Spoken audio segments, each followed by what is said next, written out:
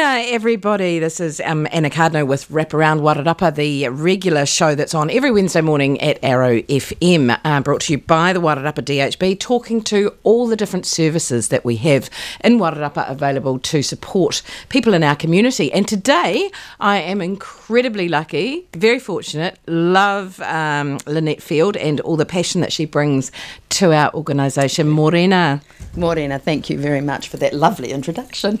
Lynette, it's wonderful to have you on the show yet again. Yeah. Um, so much to say uh, yes. from you and your oral health department. Mm. But today, something really exciting. Oh, very excited. I am very excited. Um, this year is the 100th anniversary of the start of school dental service in New Zealand. New Zealand was the first country in the world to have that. It started because the troops in World War One had such appalling teeth that the major health issue that they had in the New Zealand Army was teeth. Imagine that. Imagine that you're over in the war and the major health issue you've got is not broken limbs and stuff, it's teeth. Not broken limbs and bombs and threatening death, but yeah, it's actually exactly. your teeth. So yeah. after World War One, um, what happened is that a lot of people started looking at the children of New Zealand and they did studies, various studies, very learned people. And they were studying, you know, they'd do a couple of thousand kids in a town and they'd find that there were only two that had no need for any dental care at all New Zealand's population was not rich, and so there wasn't really great dental care for children. And it was an era where everyone was looking at the future of the world. And so things like Plunket started, and it was all about getting women good for breeding. We needed to build back up the country. And so children's health was another, you know, especially little girls, because um, they wanted them to be good breeders later. Um, children's health. Sounds like farming. I know. Yeah, I suppose we are farming. But that was what the world was like then. And so in 1921, a new career was started there was hundreds of young women who applied and about 30 women got accepted to start the first school dental nursing qualification and amazing, so there's, there's something, amazing. Something very, very special about that date that you just said that that, that, that was in 1921. So that was hundred years ago. This year.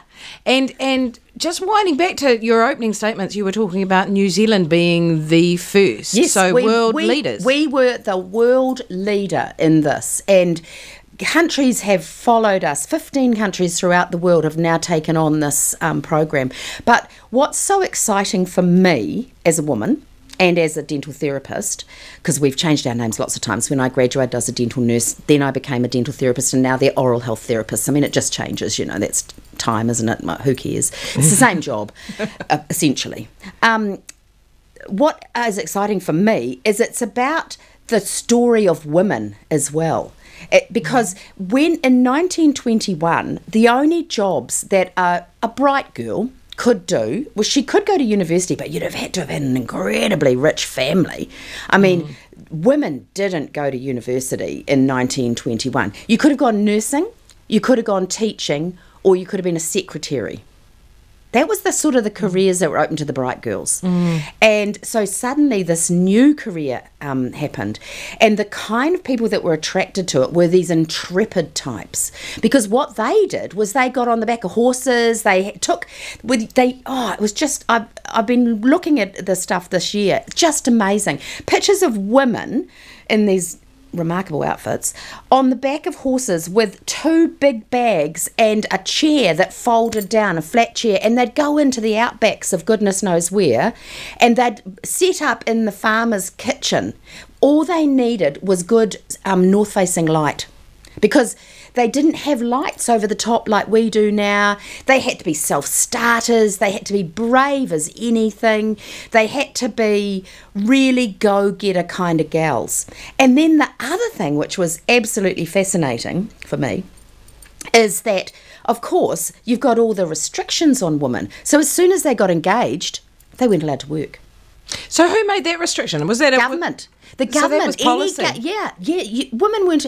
It was about the nineteen early sixties before, late fifties, early sixties before government working women were allowed to work after they were married. There was one time when um, married women were brought back into the school dental service, and that was um, after the when the baby boom happened.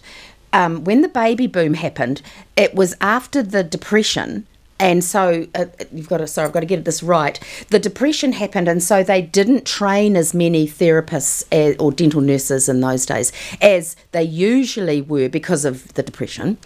Um, and then they had this baby boom in the 50s and, and and they didn't have enough people. So they were doing these advertising campaigns. Have you got a girlfriend who's at home and her children have gone back to school and she could come back and help you at your sub base? Getting two or three hundred children treated would be very helpful. So that was the first time that they, and, and, and like it's a picture of women's history in New Zealand. It's amazing. It I is think it's isn't it? absolutely the most fascinating career. Um, when I trained, uh, I graduated in February of 1978. I'm wearing my badge today. It's very important to me. Oh, that's another thing. Badges weren't interested, int um, introduced into the school dental service until 1927. And the reason they were introduced was because suddenly dentists got assistants and they were called dental nurses. And so there was this sort of um, thing going on between the qualified dental nurses who were qualified to treat te- teeth Yeah. and the dental nurses who were dental nursing assistants to help. And so they int- introduced the badge. So And so the badge set them apart. badge so set the them qualified apart. The qualified the had a badge, and the unqualified didn't have a badge. Now that's just crazy. I mean, it's just such fun. And the dentists were always male. Presumably. Always male. Always there was a couple of female dentists. Uh, oh gosh, they wouldn't have come until much later, maybe the forties. Maybe I'm not Yeah. sure. I'd have to go and look that up. Gosh, it's fascinating, isn't Oh, it? it's great. You know, like um, I'm. I don't think of myself as old. I'm obviously old if I graduated in 1978, but. In my lifetime as a dental nurse, I started off as a dental nurse. I went to a school. Um, I sent to Kew in Invercargill, great place. Stayed there for three years. When I graduated, we were on under the Department of Health, and we were told where we were going Wow. and we were bonded for two years. Goodness me! So you get sent anywhere, in the Anywhere in, country, New Zealand, far away from your family, far, doesn't far, matter. far away. Does not matter. Yeah. People who'd got it. There was in the last um, sort of mm, three or four months of, well, no, maybe six months of training, engagements were like crazy happening because girls were trying to ensure that they could use with the department a reason why they had to stay in that place. So if you were even just slightly keen on this lad, you'd get them to propose. And that would anchor you to the place that you wanted to yeah, be. Yeah. So in 1981, so so 78, 79, 80, 90, at the end of 1980, I decided that I didn't want to stay in Southland forever, even though I loved Southland, absolutely loved it.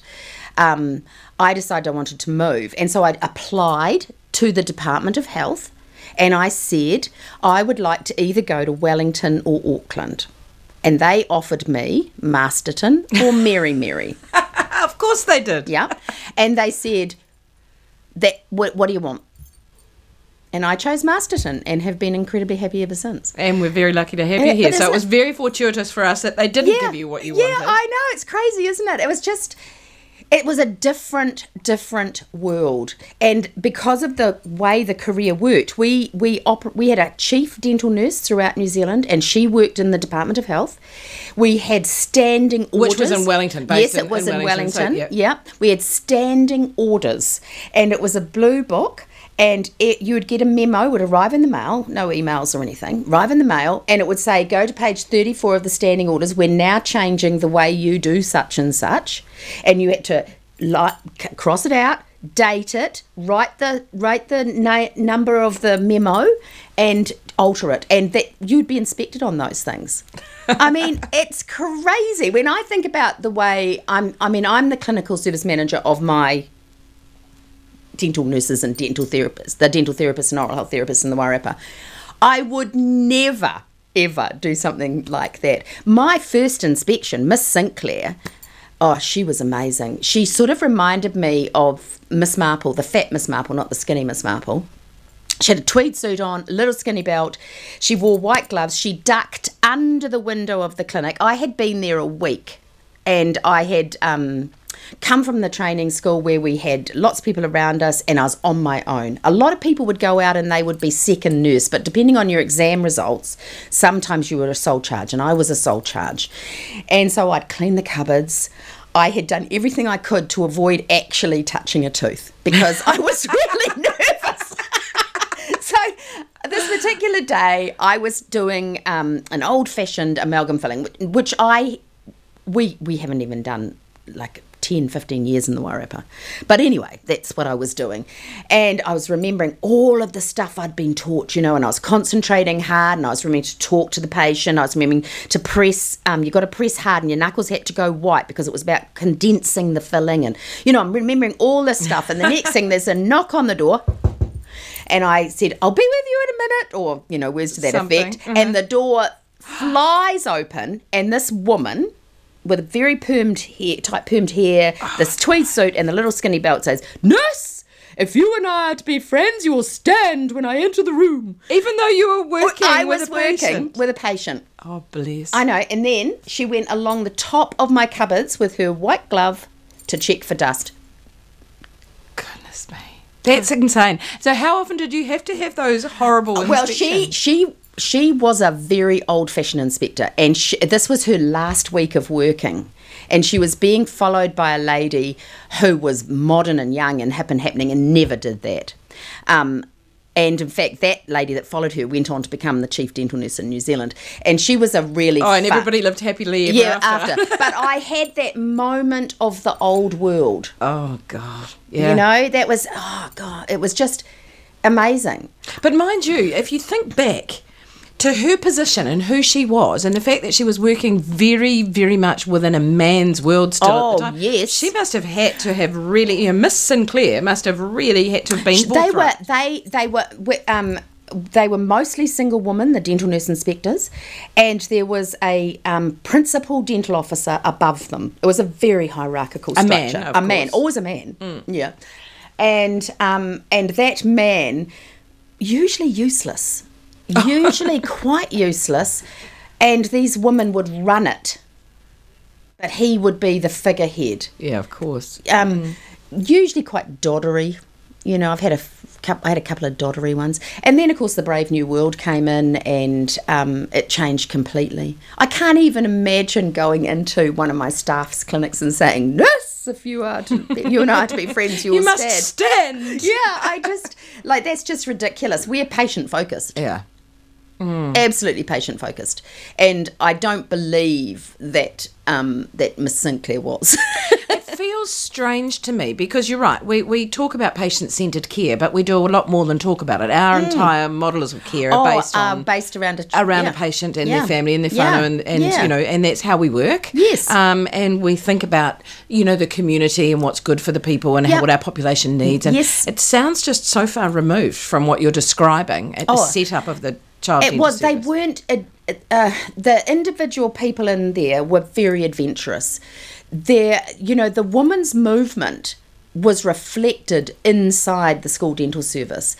In the 1970s, um, early 1970s, so before I graduated, um, uh, it became really obvious that dental nurses had lost pay parity with the public health nurses whom they'd had pay parity with, and they and and the government just wasn't doing anything about it. You know, the PSA was fighting the good fight and all so that. Sort the stuff. nurses union back then because unions were still very strong? Yes. so the nurses union must have been fighting quite hard and then Yeah. there was nothing happening for the for Dent- the school dental yeah. nurses.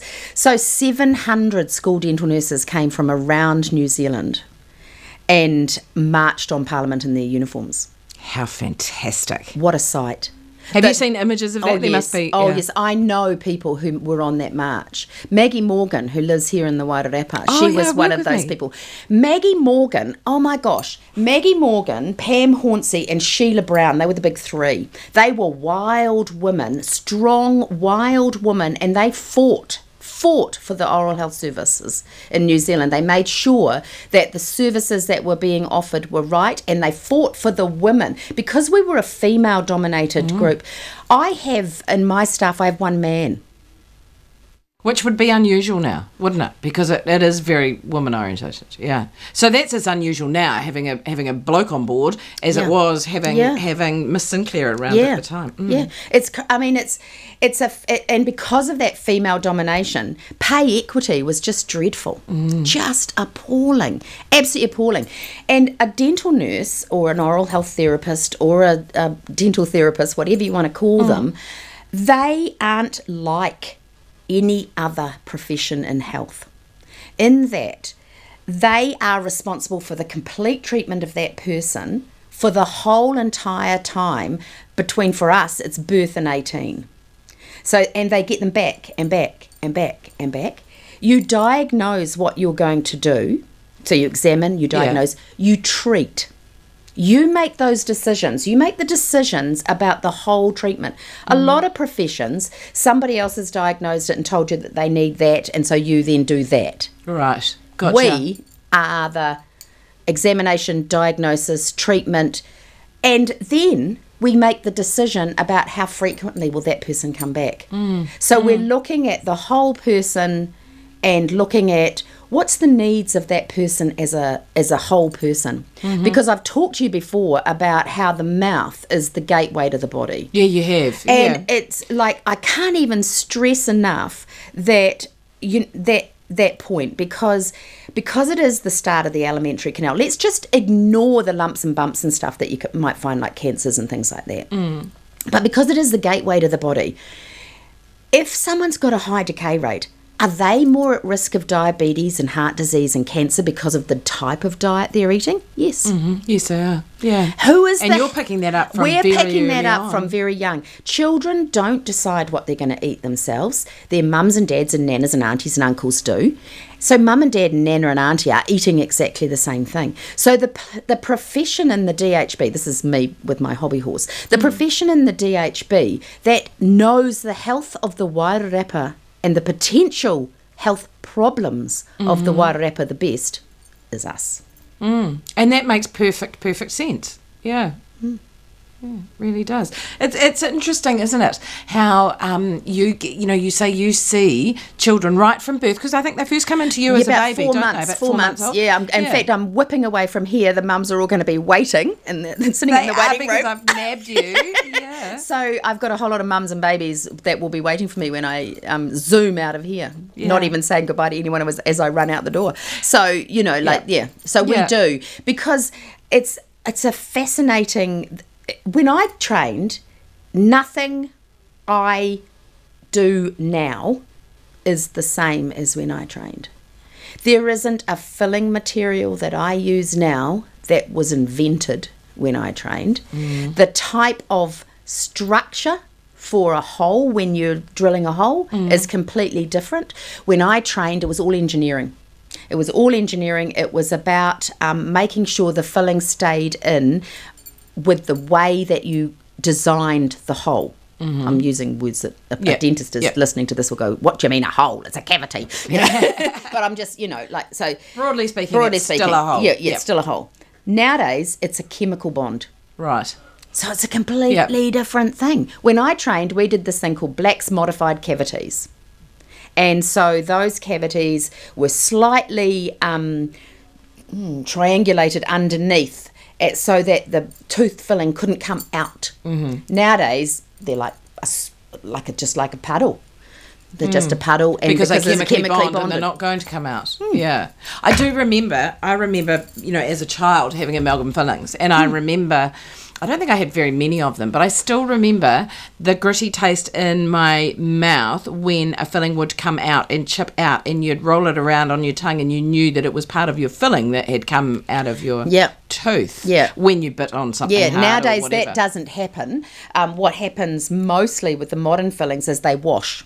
Mm-hmm. And so it's a sort of a wash down, which means that um, the bottom is still covered. Mm-hmm. You know, like if you are regularly visiting. So they wear down like a, a yeah, road that's yeah, been driven yeah, and it. not fast, but that Yeah. Mm-hmm. as opposed to chipping. You know, it's um, because the bite force is horrendous. I mean, it's several elephants for every bite biting down. It's like Mm-hmm. the force of several elephants. amazing, really. I mean, I don't know that there's a terrible thing that some people do, and I would never do it. But if you're trying to move something and you can use your mouth and your teeth, that's a pretty effective Mm. device. Mm, you wouldn't mm. do it, of course. No. you don't want to break those teeth. No, exactly. Yeah. Yeah. So it's very exciting. So we. Um, So, so just on that, on those enormous changes that, Hmm. that you've seen over that time, what's the retraining like? Or, or you know, the, Oh. the training now updated training. right so must have to now they go current. yeah now they go to there's two universities now instead of just otago um, in my day there were three places you could train you could train in auckland wellington or christchurch and i trained in christchurch we thought we were superior obviously Oh, well, you are because my family's all from Canterbury. there you Very, go. very, very one-eyed. It's all about the red and black. And exactly yeah totally so you understand, good Totally okay understand. um and and so each training school in my day would have the opportunity to decide how they were going to do it. So I did art at university for um, a little bit because they were trying to get manual dexterity. So I did embroidery and pottery and all sorts of things. I remember writing an essay on the bold and um, uh, the bold use of colour because I didn't know anything else about art and I had to write an essay on this particular painting. Um, we did. I did teachers college.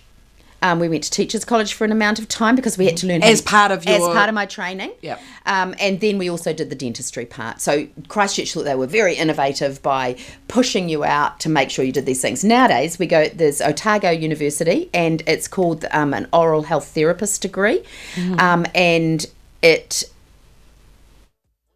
well, I haven't done it, so I'm, I can't be as, as clear about what they do. But it basically is what prepares the modern young person to come out and work in our service, and in Auckland the same. Right. Where now there's all sorts of um, movements forward. They're looking now at the adult scope of practice. So what that means is that uh, so I'm registered to treat up to 18. So that so if someone came into me on their 17th and 364th day of life, I could fix their teeth, no hmm. problem at all. If they come to me the next day on their birthday, it's illegal for me to fix their teeth. Right.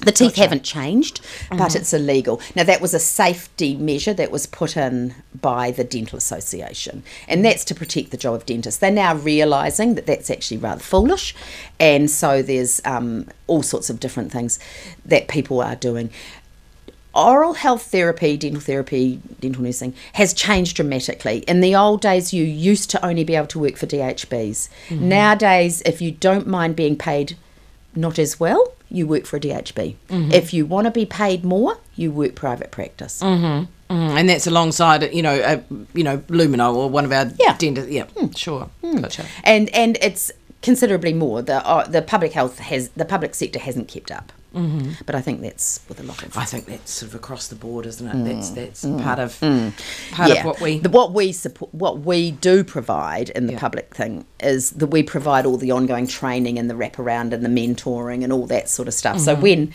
I get new grads and you know the difference in salary is substantial, I say right, well, are they going to pay your registration? Are they going to wrap around and give you support and give you a mentor for a year? Are they going to no? Mm. So that's the differences. Yeah, yeah, absolutely. And also, um, I think for satisfaction, we treat everybody. There's a certain cohort that doesn't go to the dentist because they can't afford it. There really is. Yeah. Well, it's a lot, and you know, It is as important as teeth are, and there is no argument. I mean, you talk about you know the gateway for the for the health of the whole person is is in the mouth, and and I and I get that, but th- it just seems so. Um, I don't know, mundane to be spending big money on your teeth. So I, I get that. I know, and I- it is pricey. It is. I, I saw. I was giving out. I was doing an orientation day at the DHB, and I gave out this poster because it just resonated with me. Forty-seven percent of what a person notices about you first up is your smile. I hope I get this right. Seven percent is your hair. Eleven, no, seven percent let your hair. Clothes is four percent. Mm. And there was another thing that I spend lots of money on smell. Smell. and well, I that's thinking- me. Perfume every morning. It's the first thing I do. yeah, I know. it. And so I was thinking, okay, when I'm looking at my budget of discretionary income, do I spend 7% of my discretionary income on my hair? Not a chance. Mm. My dye jobs and haircuts aren't cheap. Um, and I go pretty regularly because the grey's coming through. Oh, see, I've just gone natural. It's Yeah, just there you all go. the Yeah, but you know Yeah. what I mean? It's Save like, some money. Yeah, I know, but in a year, I've probably paid more to go than I would pay to go to the dentist. Yeah, yeah, we- yeah. we- it- it's about where are our boil it down, priorities. Yeah. and you're, you're right about that whole smile, that engagement piece. Yeah. you see people, Yeah. and and you know eyes? Is think- the next best, biggest thing. People Yeah. notice your, your eyes, eyes, and your smile. So I find something that I always I feel is really sad is when you see children, particularly, but even you know, eh, women, adults, who cover their mouth a lot Oh, yeah. and and smile with closed lips because they're embarrassed about the state of their Uh, teeth. two people in my life do that. One is a niece who wanted orthodontic care, and her parents decided that they wouldn't do it, and she could do it when she, um, you know, when she could afford it. Well, she's now a registered midwife, and she's starting her journey of orthodontics. But she smiles every single photo. This is a hot girl, really gorgeous looking girl. Never smiles with teeth. Always just a smirky lip look. You know, she's lovely, and she is if you were to not see her and to just talk to her and you know you would imagine her smiling broadly and that's the kind of personality she's got but it's not it's just lips. And the other one yesterday was um, i when i was doing um, not you said monday when i was doing the orientation at the hospital one of the ladies that i was talking to sat the whole time with her hand over her mouth. Now for me that's a red flag. Absolute red flag she's unhappy I once had a lady come to see me, and um, she'd been the victim of domestic abuse, and her partner had knocked her front teeth out. And she had not gone to the police on that particular occasion. She had not registered the knocking out of the teeth for ACC. And so um, she had now got the courage and she had left her partner and she was starting a new life and she was wanting to get a job. But she couldn't smile and she knew the kind of jobs that she was going to get were in the service industries. Mm-hmm. And she knew she needed some front teeth. And I just thought, whoa, mm. we don't even know we're born. no, no, exactly. Yeah, Always register accidents for ACC. If there's blood in your mouth, register the accident for ACC, even if it doesn't look like anything's wrong. Most of the tooth is under the gum. You don't know what's going on. Yeah, absolutely. Good advice. Good Yeah. advice. Now, let's bring this back because we I think you and I could talk for hours. I just love it. I find uh, I find everything you have to say quite fascinating, and you're so passionate about Oh, what you do. I love what I really do. Cool. I absolutely love what I do, and I. Yeah, I think so it's cool. Mm. a life well lived. You know, um, I think about the kind of careers I could have gone into. Accounting was what my father wanted me to Oh, do. don't. I know. Can you imagine me as an accountant? no. I can't imagine you as an accountant. I know. I, Mind you, seriously, if I if I met you and your passion and your energy and enthusiasm and just just your vibrancy, and somebody said to me, "And what sort of career do you think that she is in?" I I wouldn't have chosen Dentistry. oral health. it doesn't bring to. I think possibly I would align. You know, in my in my very uneducated head, I would align oral health and dentistry more along with, alongside Well, the um, okay. Miss Sinclairs of the world. But and and I have got a little story of my own because when I was at university, I did go to Otago because Yeah. it's not very far from Canterbury. Yeah, And of course, it is yeah. the best place to be. And so Yes. I uh, went to Otago University and I went out for my sins with a dental student. And so I used to go to the School of Dentistry to get my teeth done as a, as a sort of, you know, lab rat. Yeah. And um, anyway, he was very boring. He should have been an accountant anyway, not, a, not a dentist. Anyway, Lucky escape. Moved on from there. hey, but look, just before we're about to finish, because we're wrapping up, and I always hate this part, but 100 years. Okay, Yes. there's a celebration. We've There got is one in minute to talk about it. It's Go. in Wingate Lane. It's on the 22nd of May. Anyone who's ever worked in the oral health service, we're really keen for you to come. Get in touch with the community dental clinic. We are really excited. It's just a casual thing. We've got a, a couple of speakers talking about their lives. Um, I'm the MC. Um, it's going to be fun, fun, fun. I'm really looking forward to it. It's it's just such an amazing thing. 15 countries in the world have copied us. Yeah. We are trailblazers. And it's not often that New Zealand's the the leader, the forefront. You know, we're often just Absolutely. picking oh, up except from for the rest. votes for women. Isn't that interesting? What is that about? You know, mm. votes for women, a career that was started for women or assumed to be for women. You know, something there. Yeah, Who knows? Good old, good old Kiwis. Yeah. Hey, so just quickly, Wingate Lane, which Yep. is down Opaki Road. Yes, on the 22nd. Used to be Paper Road. It used a lot to be of people- Paper Road, yes. On the 22nd, starting at 11 a.m. 22nd of May. Yes, 22nd of May, finishing at about 3. Everyone will just be standing around gossing. Um, it'll be fun. You know, you can't get a better group of people than oral health people. Yeah, well, so it sounds. You know, I who laughed. would, who would when know? I was organising it, the people that were there said, "Oh, I suppose we better get sugar-free juice," which I thought was so funny. Like it was just like the poor things, you know. Who would have thought it? Now, listen, that was a fantastic show. Thank you, Lynette Field, Thank for being you. back with us again Thank and a hundred years of oral health school Yeah. school dental Yeah. service. Fantastic. yeah, and I've been in it nearly half of it. Good God. Thank you so very much. Okay, thank you.